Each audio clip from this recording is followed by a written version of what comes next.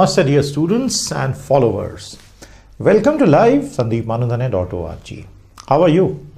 उम्मीद करता हूँ अभी तक के सारे सेशंस आपने बहुत अच्छे से पढ़े समझे और रिवाइज भी कर लिए it's time for us to begin a fresh series now हम अब अगले चार सत्र जो लेंगे उनका टाइटल आप नोट कीजिए I am starting a new series of the next four great thinkers of India Bharat के महान विचारक, जिन्होंने अपने दिमाग की शक्ति से पूरे पूरे साम्राज्य खड़े कर दिए etcetera the great thinkers of India Bharat के महान विचारक, और निश्चित तौर पर जिन्होंने पूरी दुनिया में अपनी धूम मचा रखी है, हम सबसे पहले उन्हें ही लेंगे। एनी गैसेस हम किन्हें लेने वाले हैं?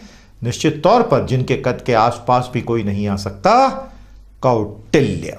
हमारा पहला सेशन रहेगा on the great historical figure Kautilya. जितना इनके बारे में पढ़े और जिनका, जितना इनके अर्थशास्त्र को पढ़े, उतना कम है।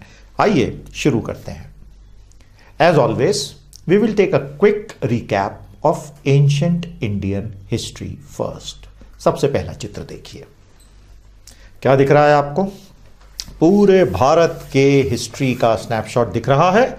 Ancient classical early medieval late medieval early modern modern संपूर्ण दिख रहा है आपको। प्राचीन इतिहास क्लासिकल इतिहास, प्रारंभिक मध्ययुगीन इतिहास, इस तरह से सारे ये हिस्से दिख रहे हैं।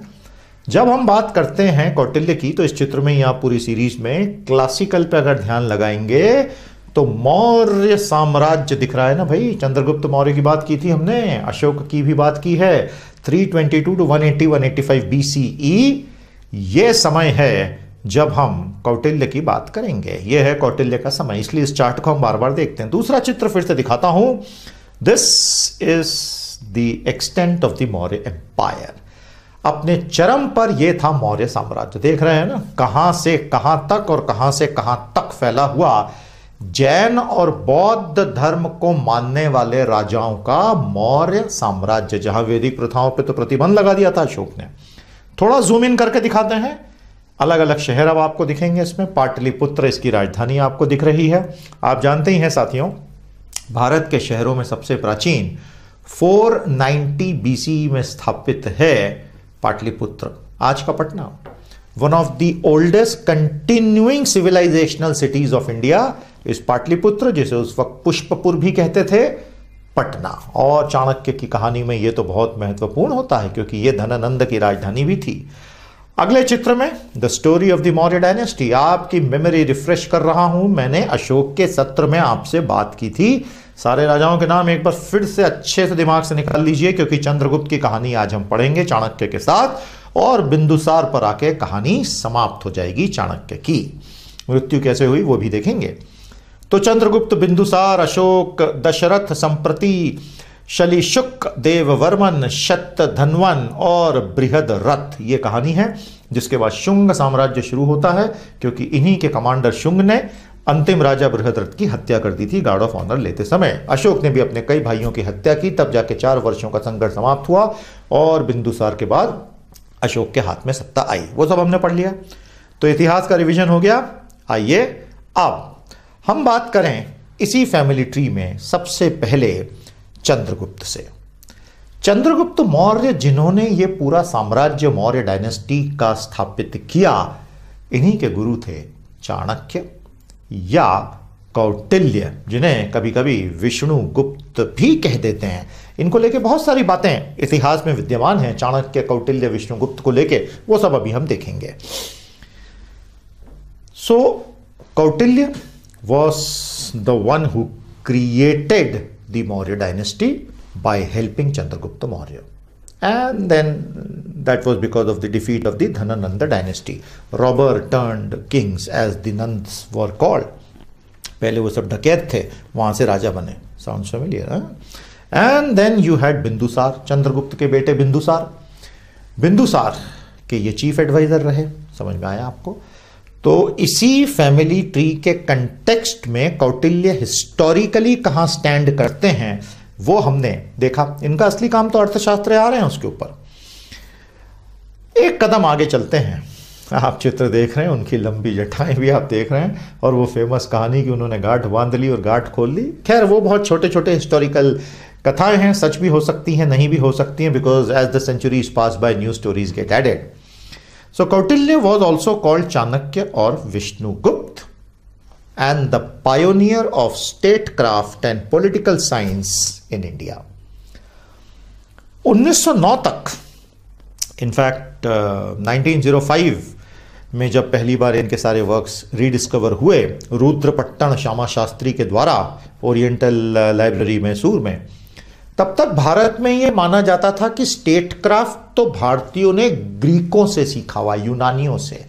The Britishers use to disparagingly से ब्रिटिश जिन्होंने हम पे डेढ़ दो साल हंटर मार मार के राज किया, कि तुम मूर्ख भारतीयों को क्या पता राज्य कला क्या होती है। अरे अंग्रेज़ों, जब तुम बिना कपड़ों के आग के आसपास घूमते थे ना बच्चे, तब हमारे यहाँ पूरे साम्राज्य बन चुके थे तो अपना मुँह बंदी रखो। ये उन्हें कहा रुद्रपट्टन श्यामा शास्त्री ने, जिन्होंने खोज निकाली ये सारी पांडुलिपियाँ और ट्रांसलेट करके बताया कि ये है Arthashastra. So the founder father of political science and state craft in India through Arthashastra document is Kautilya और चाणक्य। ये समझ में आया? निकोलो मैकियावेली, इटली के बड़े थिंकर हुए, सोलहवीं, सत्रहवीं शताब्दी के। कई बार कहते हैं, Chanakya is the Niccolo Machiavelli of the East इससे बड़ा अन्याय नहीं हो सकता है ज्ञान के साथ। Niccolo Machiavelli is a very minor version of Chanakya. वो चाणक्य ऑफ़ द वेस्ट कहलाए जा सकते हैं। चाणक्य को मैकियावेली ऑफ़ द ईस्ट कहना ज्ञान की देवी का ही अपमान है, मत करो ऐसा। ओके तो चाणक्य को हमने कहा, विष्णुगुप्त या कौटिल्य को, चाणक्य या विष्णुगुप्त भी कहा। और the founder of modern state craft and all ये पता कैसे चला? जब अर्थशास्त्र की पांडुलिपियों का पूरा ट्रांसलेशन हुआ संस्कृत से, तब मालूम चला कि उसमें तो चैप्टर वाइज पूरी कहानियाँ दी हुई हैं। मेरे पास उसकी कॉपी है। जब मैं उसको रेफर करता हूँ तो बात समझ में आती है। He was a teacher he was a philosopher he was an economist he was everything he was a teacher to Chandragupta Maurya उसकी पूरी शिक्षण एक छोटे बच्चे से लेके बड़े होने तक की, जिसको लेके चार अलग अलग कहानियाँ हैं। इतिहास में यही होता है तो हम एक ब्रॉड मोटी मोटी कहानी पकड़ के चलेंगे। ही वॉज़ द फिलोसोफर क्योंकि उनकी सारी बातें फिलोसफी के डोमेन में आती हैं। And of course he was an economist किस तरह से राज्य को चलना है, अर्थ के रूप में, वो उन्होंने सब बताया। लेकिन छठी से दसवीं सदी के बीच सिक्स सेंचुरी कॉमन एरा ईसा पश्चात से टेंथ सेंचुरी ईसा पश्चात तक अर्थशास्त्र और चाणक्य नीति के सभी महत्वपूर्ण दस्तावेज़ धीरे धीरे धीरे धूल में संग गए सब गायब हो गए इतिहास से। ऐसा ही होता है साथियों, यही दुनिया है। बौद्ध धर्म के चार सत्र पढ़ के आपको समझ में आ गया होगा, दुख, अनत, अनित्य, यही इतिहास है। लेकिन फिर देखिए काल चक्र फिर से घूम के कहाँ लेकर आ गया हमको? अब एक स्टेप और आगे चलते हैं। हमें इनके बारे में पता कैसे चला है? अरे बाप रे, इतने सारे document ji. How do we know about this gentleman called Kautilya इतिहासकार ये भी कहते हैं कि शायद he wasn't one person many person together are refer to as Kautilya no we would never know that it doesn't matter even there is a Buddhist version there is a Jain version there is a Kashmiri version and there is Vishakha Datta's version ये चार versions की कहानियों में पता चलता है कौटिल्य नामक व्यक्ति के बारे में। सबसे पहले बात करें बुद्धिस्ट वर्जन देखिए बुद्धिस्ट वर्जन में जैसा कि आप जानते हैं, सिलोन में, यानी कि जो आज का श्रीलंका है, बौद्ध धर्म की पूरी कहानियाँ पाली भाषा में लिखी हुई मिली हैं। उसमें जो दूसरा दस्तावेज़ है, महावंश, आप देख रहे हैं ना स्क्रीन पर, महावंश। इसमें जो सिलोन में लिखा गया, फिफ्थ सेंचुरी एडी में, पांचवी सदी एडी में जो श्रीलंका में लिखा गया, पाली भाषा में महावंश और उसके बाद जो उस पर कमेंट्री लिखी गई है कमेंट्री इतिहास में बड़ी पॉपुलर होती हैं, वाम सत्तपकशनी, ये उसकी कमेंट्री है महावंश की। इसमें कौटिल्य चंद्रगुप्त बिंदुसार के बारे में विस्तार से कहानी आती है। So this Mahavamsa is a महाकाव्य जो आपने स्क्रीन पर देखा। तो ये पहला रेफरेंस समझ में आ गया। पता कहाँ से चला कौटिल्य के बारे में? तीन वर्जन और हैं। देखिए, उस वक्त भारत में प्रचलित धर्म में बौद्ध धर्म और जैन धर्म था। तो अब जैन वर्जन पर आते हैं। I hope you realize that in the earlier centuries we had Jain and Bauddha the main religion the Jain religion and the Buddhist religion Parishishta Parvan by Hemachandra is a mahakavya in Sanskrit of the twelfth century speaking of Kautilya Chandragupta ये दूसरा सबूत है। But the stories differ that doesn't matter broad story remain the same Dhanananda the villain remains the same और क्या चाहिए? Hero और villain same है। बाकी बीच के तो विलेन द ब्लैंक होता है भैया। कश्मीरी वर्जन, कथा सरित सागर, ग्यारहवीं सदी के एक शैव, यानी शिव जी को मानने वाले बम भोले। सोमदेव नाम के एक शैव व्यक्ति का लिखा हुआ कथा सरित सागर और गुनाढ़ का लिखा हुआ बृहत कथा मंजरी, हज़ारों हज़ारों कहानियों का संकलन। बहुत ही खूबसूरत कहानियाँ जो संस्कृत श्लोकों के रूप में लिखी गई छठवीं सदी। इन सब में कौटिल्य चंद्रगुप्त की कहानी मिलती है। Hence we know that this is a true story and then the work done by Rudrapatna Shyama Shastri of Mysore finally put the seal on it और फाइनली विशाख दत्त का मुद्र राक्षस संस्कृत प्ले चौथी सदी का आप देख रहे हैं। सीधे सीधे 1500 से 2000 सालों के बीच की कहानियाँ सामने आ गई। ये हिस्टोरिकल नाम और ये सब आपने नोट कर लिए। इन्हें याद रखने की कोशिश कीजिएगा। हर जगह आपको काम आएगा।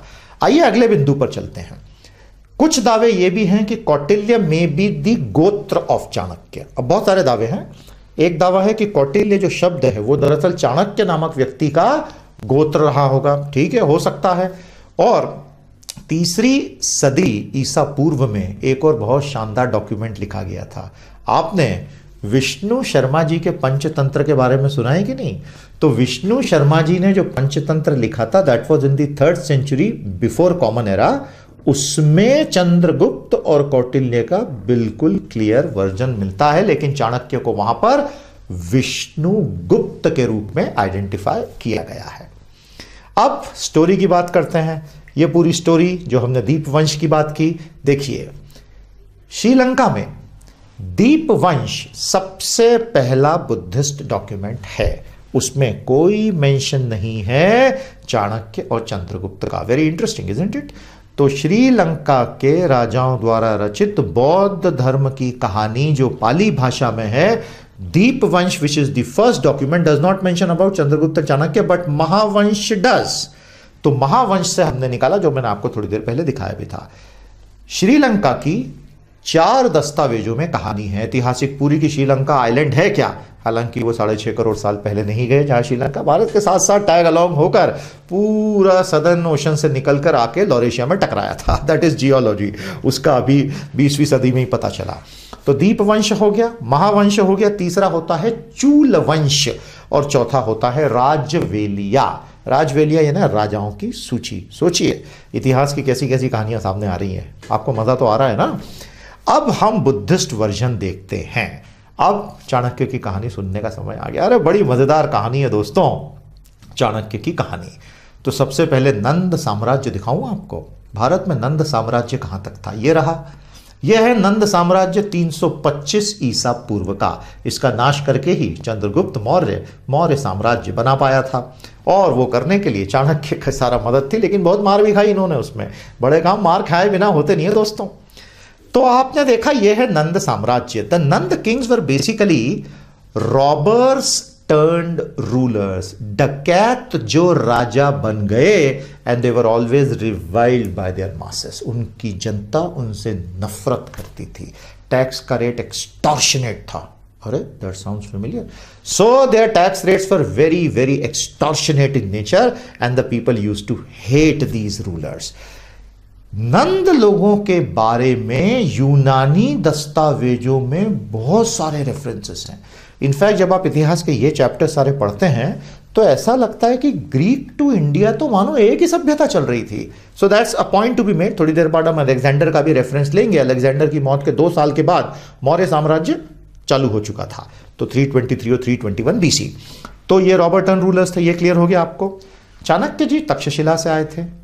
और चाणक्य जो थे, उन्हें तीन वेदों का संपूर्ण ज्ञान था। तो बड़े बुद्धिमान व्यक्ति थे, इसमें कोई शक नहीं। लेकिन दिखने में बड़े अगली थे, वो दिखने में सुंदर नहीं थे। इसकी बहुत सारी कहानियाँ हैं। ऐसा कहते हैं कि उनके जो दांत थे, ये कैनाइन शेप के थे, तीखे दांत।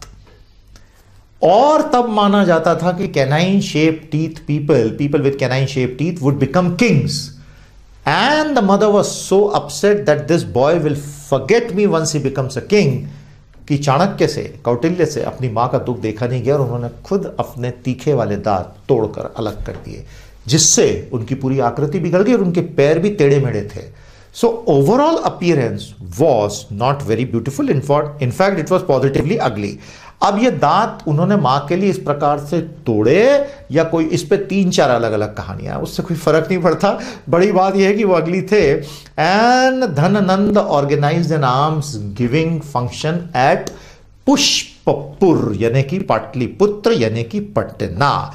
तो जैसे मैंने कहा 490 ईसा पूर्व से पटना एक कंटिन्यूसली इनहेबिटेड सिटी रहा है। तो भारत का गौरव है पटना शहर। और हमारे यहाँ इन कथाओं को इस गौरवशाली ढंग से अगर बच्चों को बताया जाए तो भारत के इतिहास को लोग बहुत अलग ढंग से भी देख सकते हैं। खैर, कोशिश हो ही रही है। ये एक छोटी सी कोशिश है ही।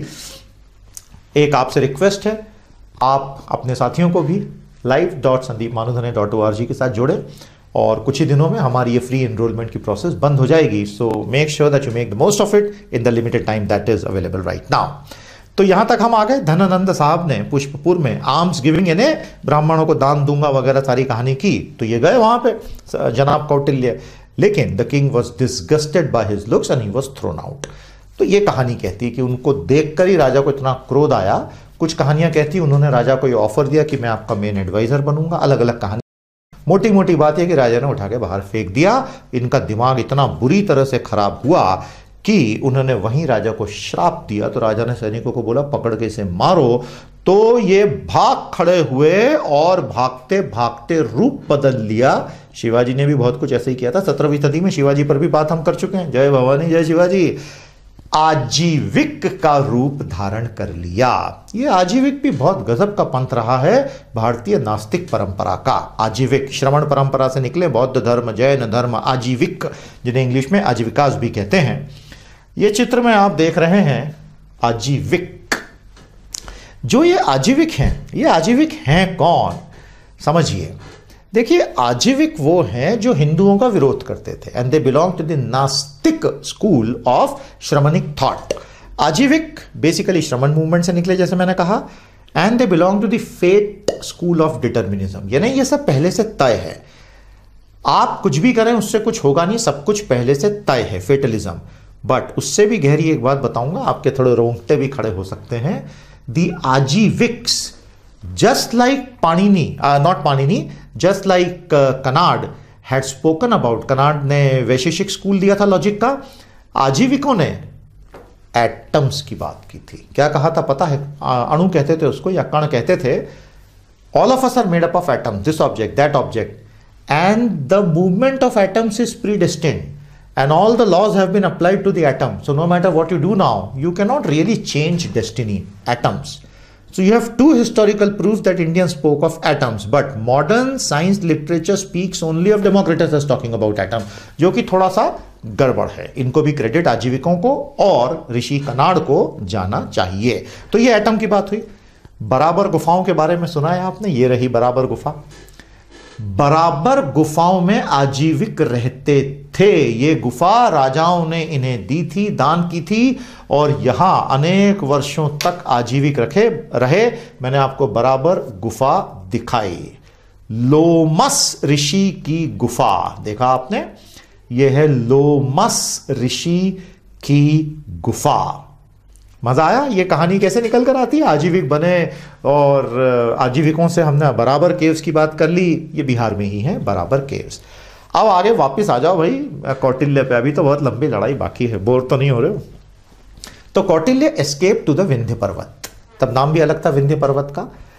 वाई ही एस्केप धनानंद के सैनिक पीछे पीछे आ रहे थे ना, और जब वो विंध्य पर्वतों में पहुँचे, वहाँ उन्होंने अपनी एल केमी के विज्ञान से, धातु विज्ञान से सोने के सिक्कों का भंडार खड़ा कर लिया। कहानी ये कहती है। इन सोने के सिक्कों को कहते हैं, लाखों सोने के सिक्के बना डाले उन्होंने यहाँ। इन्हें कहा जाता है कारशापण। आपको मैं चित्र दिखा रहा हूँ। ये फोर्थ, फिफ्थ सेंचुरी बीसी के भारत के सिक्के हैं। आज से 2500 साल पहले की मुद्राएँ। इन मेटेलिक सिक्कों पे, ये सोने के नहीं हैं चाणक्य ने, कौटिल्य ने तो सोने के सिक्के बना डाले विंध्य पर्वत में। ऐसी कहानी है, जिससे बाद में पूरी सेना खरीद, उनको पैसा दे देकर लोगों को जोड़ा। ये जो आप अभी स्क्रीन पे चित्र देख रहे हैं, कारशापण, ये मेटेलिक कॉइन्स हैं विथ वेरियस सिंबल्स और इस पर माइक्रो इंग्रेविंग भी मिलती है and its value was equal to the value of the man credibility of the man holding these coin समझ रहे हैं? तो तब जो व्यापार वगैरह होता था, कारशापणों पे से होता था। अब आपके रोंगटे थोड़े से और खड़े कर दो? कारशापण से अंग्रेज़ी में एक शब्द निकला है भैया, कारशापण से। ये हिंदी, ये संस्कृत शब्द है कारशापण, यानी coins the English word cash comes from karshapana. मज़ा आया? हाँ बस ऐसे ही मज़े आते रहेंगे, चिंता ही मत कीजिए। अब चंद्रगुप्त की कहानी सुनिए। तो कौटिल्य ने सारे सिक्के बना लिए। अब उसे बस अपना एक सक्सेसर चाहिए था। He just wanted one not successor a trainee जिसको वो ट्रेन करके धननंद का बंटाधार कर डाले। इस कहानी में छोटा सा पेज और है कि ये करने से पहले चंद कौटिल्य ने धननंद के बेटे को भी अपनी बातों में फंसा लिया था और वो उस पर भी नज़र रखे था कि I can use this son to murder Dhananda. So that is one parallel story अब आते हैं चंद्रगुप्त की कहानी पे। तो एक दिन ये गुजर रहे थे किसी गाँव से, वहाँ उन्होंने बच्चों को खेलते देखा और बच्चों में एक बीच में ऐसा राजा बन के बैठा था। इसे पेश करो, उसे पेश करो, तूने अपराध किया है, इसके हाथ पाँव काट दो। चलो, मैं राजा हूँ, मैं हाथ पाँव जोड़ देता हूँ। जब चंद्रगुप्त मौर्य तब तो वो चंद्रगुप्त बच्चा था, जब चंद्रगुप्त को कौटिल्य ने देखा कि ये इस तरह की माइंडसेट वाला व्यक्ति है, he identified the founder of the Maurya dynasty. And Chandragupta was taken by Kautilya under his personal tutelage. ये समझ में आया आपको? सात सालों तक चंद्रगुप्त को ट्रेनिंग देकर राजा बनने के लिए तैयार किया गया। और उन कारशापणों के सिक्कों से कौटिल्य ने पूरी सेना खड़ी कर ली और चंद्रगुप्त ने उस सेना को लीड किया और ये सीधे जाके घुस गए धननंद की राजधानी में और पूरी तरह से मार खा के लौट के बुद्धू घर को आए। हार गए, सेना का कबाड़ा हो गया और ये दोनों को भेष बदलकर भागना पड़ा।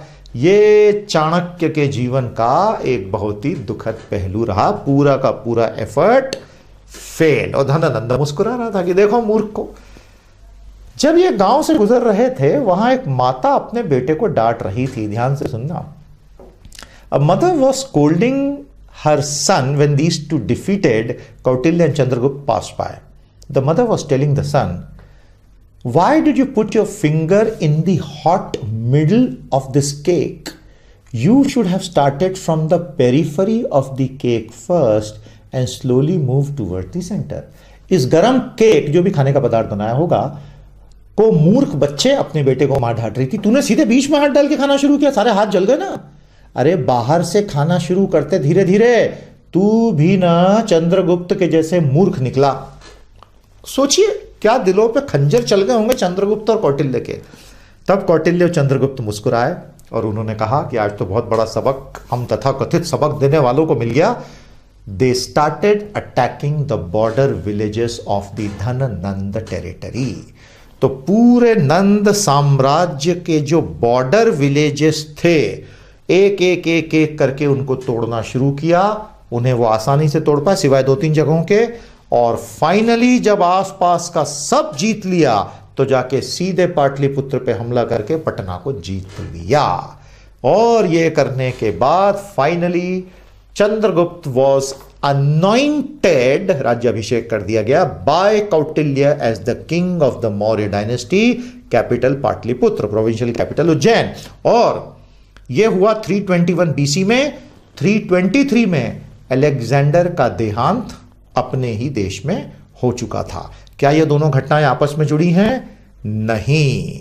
There is no connection between Chanakya and Alexander directly although some historical account say that one of the motivation for Kautilya might have been all these Greeks coming down and sweeping down लेकिन उन Greece के दांत खट्टे करने का काम तो porous बहुत पहले कर चुके थे, हालाँकि पोरस हार गए थे। That is for some time else उस पर हम बात कभी और करेंगे। समझ में आया आपको? उसी तरह जो अर्थशास्त्र इन्होंने लिखी है ना, उस पूरे अर्थशास्त्र पर मैं अपना कंप्लीट एनालिसिस की सीरीज़ अलग से शुरू करने वाला हूँ। That will be completely different series page by page the comprehensive analysis of Arthashastra. Anyway वो एक अलग बात हो गई। तो अब चाणक्य के अर्थशास्त्र और चाणक्य नीति की बात करें तो ये साम्राज्य बन गया, ठीक है? फिर इनके बेटे बिंदुसार के भी प्राइम मिनिस्टर रहे, वो सारी कहानी अलग है। बिंदु नाम इसलिए क्योंकि जब वो पैदा हुए तो उनके शरीर पे बिंदु बिंदु थे, क्योंकि वो गोट के पेट में रखा, क्योंकि उनकी माँ की मृत्यु बहुत मज़ेदार कहानियाँ होती इनमें से बहुत सारी कहानियाँ सिर्फ़ कहानियाँ होती हैं। इतिहास पढ़ते वक्त इस बात को कभी भूलिएगा मत। अब आप देख रहे हैं स्क्रीन पर साथियों the complete structure of of Arthashastra. ध्यान से देख लीजिए। ध्यान से देखिए इसे। वो एक टीवी सीरियल आता है ना भैया, ध्यान से देखिए, वैसे ही हो गया कुछ कुछ। आपको इसके सारे के सारे चैप्टर्स दिखाई दे रहे हैं। ये हैं इसके चैप्टर्स। सबसे पहले, राजा, सेनापति, नागरिक, मंत्री, ये सारे जो टाइटल्स इन्होंने दिए हैं। समनिधत्र अंतपाल, दवारिक, पुरोहित, प्रशास्त्र, उपायुक्त शून्यपाल। ये सब अलग अलग और आगे युवराज, परिषद वगैरह वगैरह, ये सब टाइटल्स अर्थशास्त्र में दिए हुए हैं। सोचिए, कितनी बारीकी से कौटिल्य ने तब सोचा था। देख रहे हैं ना? पंद्रह चैप्टर्स देखेंगे आप? That is why Arthashastra is called a treatise of complete life management it's not just about state management and politics management and army management it's about life management ये कहा गया है। On the subject of training on the activities of superintendents इसमें पता है, उन्होंने मेरे पास तो है, अर्थशास्त्र पढ़ा है मैंने। एक एक स्टेप बताया है कि सुपरिंटेंडेंट की कितनी श्रेणियाँ होंगी, अधीक्षकों की, कौन क्या करेगा, इन, इन्होंने करप्शन किया तो सजा क्या होगी, कैसे कलेक्शन आए एवरीथिंग जीएसटी लॉन्च करने के पहले यार इसको ही पढ़ लेते यार भाई। क्या कर दिया just kidding on justice eradication of thorns जो राजा के रास्ते में कांटा बने। Kautilya was a very practical person and it is said that in his own life he might have killed many as part of the duty बहुत रोचक कहानियाँ हैं इसके अंदर, बहुत ही रोचक। जब वो भाग रहे थे तब धनानंद का सैनिक पीछे पीछे आ रहा था तो इसने कौटिल्य ने चंद्रगुप्त को बोला, तू पानी में उतर। और ये पास में साधु बन के बैठ गया। जब वो आया, सैनिक, उसने बोला, साधु महाराज साधु महाराज, चंद्रगुप्त को देखा है? तो जाते हुए देखा है? तो उन्होंने कहा हाँ वो तो पानी में छुपा है।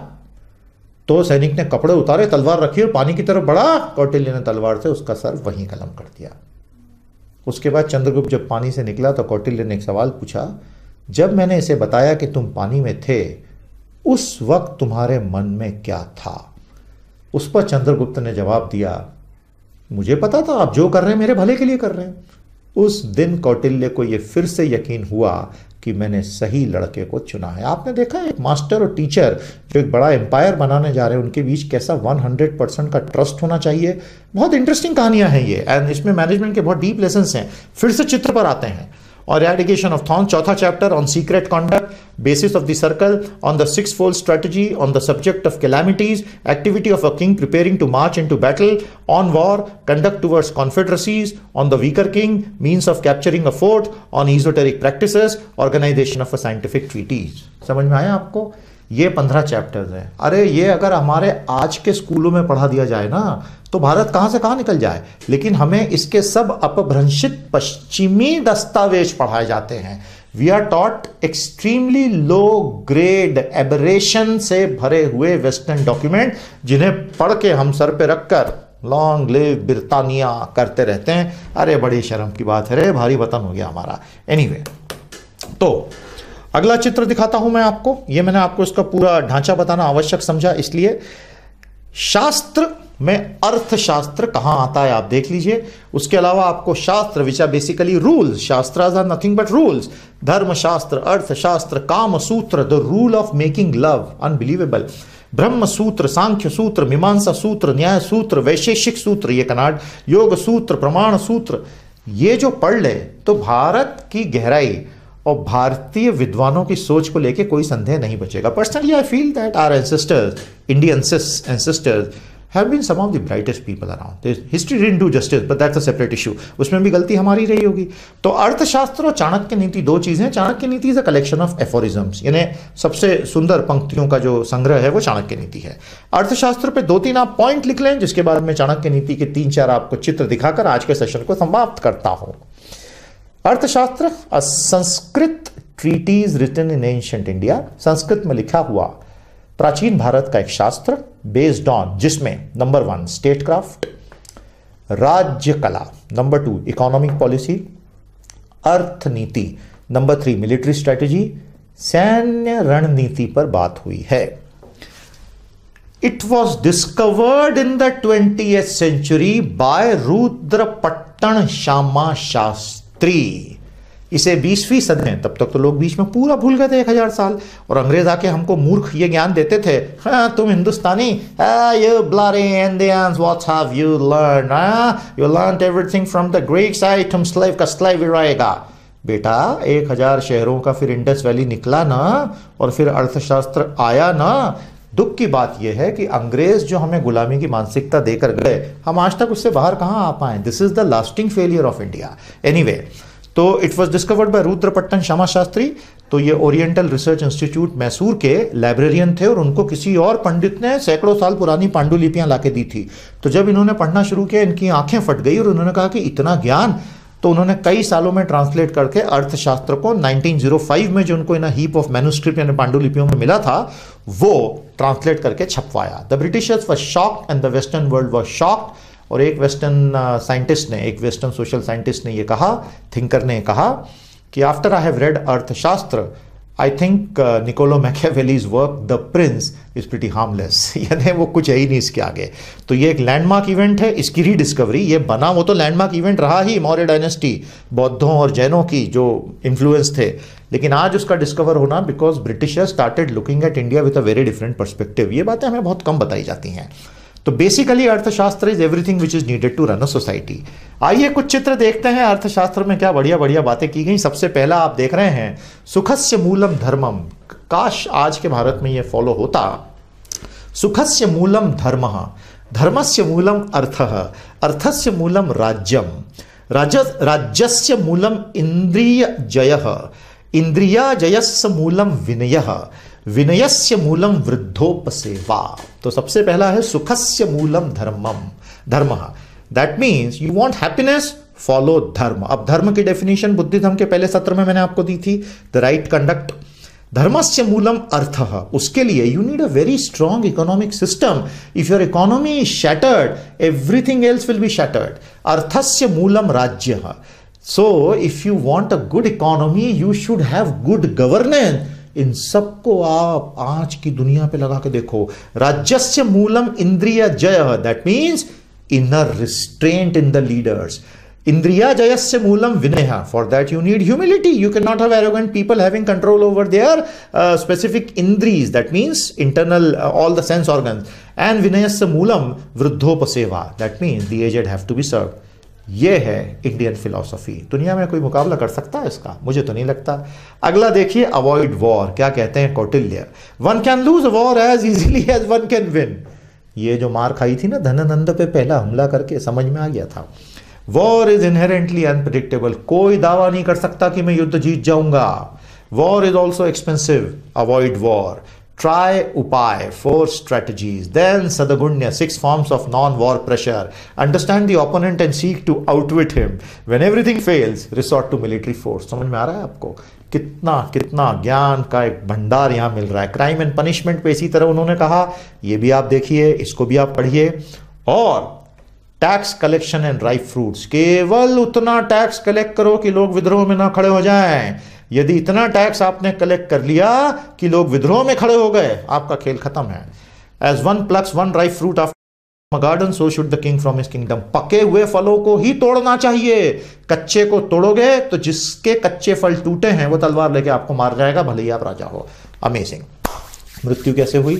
कौटिल्य की मृत्यु के बारे में अलग अलग रोचक कथाएँ हैं। पहली कहती है, चंद्रगुप्त साहब तो बन गए जैन मंग, सारे कपड़े उतार दिए, जैन साधु बन गए। तब जैन धर्म बड़ा मज़बूत होता था भाई। और वो दक्षिण भारत में चले गए अपने शिक्षक भद्रबाहु के साथ में। कौटिल्य पीछे रह गए।